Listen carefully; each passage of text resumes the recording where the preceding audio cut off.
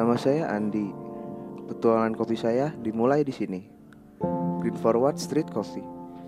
Bagi saya, kopi merupakan hobi, memberikan banyak inspirasi khususnya di dalam hidup saya.